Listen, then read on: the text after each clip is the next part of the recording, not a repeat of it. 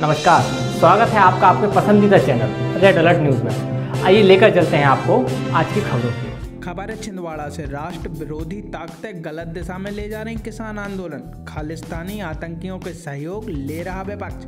छिंदवाड़ा केंद्र सरकार के किसान बिल पर मचे हंगामे के बीच बैतूल सांसद दुर्गादास उइके ने पत्रकार वार्ता लेते हुए किसान सुधार कानूनों पर सफ़ाई दी।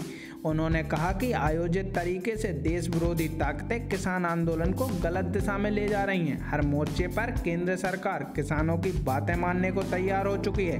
केंद्रीय मंत्रियों का दल लगातार किसानों से बात कर रहा है, लेकिन इसके बाद भी किसान आंदोलन कर रहे हैं, जबकि केंद्र सरकार द्वारा लाए गए तीनों कानून किसानों के हित में है। केंद्र सरकार सबका साथ, सबका विकास के मूल मंत्रों को लेकर कार्य कर रही है। छिंदवाड़ा से आशीष मालवी की रिपोर्ट।